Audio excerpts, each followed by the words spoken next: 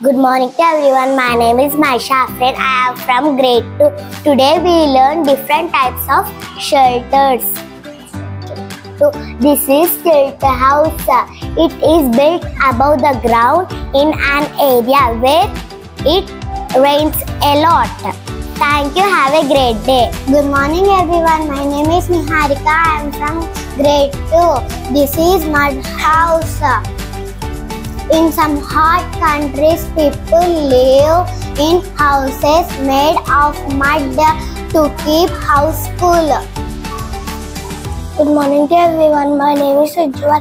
I am studying second grade. Today I am telling about tent, tent house.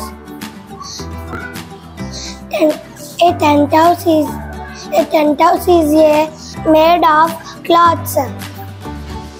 This mostly is for camping outside. Good morning to everyone. My name is Yatmai. I am from second grade. Today I am saying houseboat. This is a houseboat. Houseboat built on boat. Thank you. Good morning everyone. My name is Ayan from second grade. Today I am telling about caravan. Caravan a caravan is a house on wheels that can take wherever you go. Thank you. Good morning to all. My name is Vanideepak. I am studying second grade. Today I am explaining about igloo. Igloo, igloo is house made of hu- huge blocks and ice. It, it is temporary house.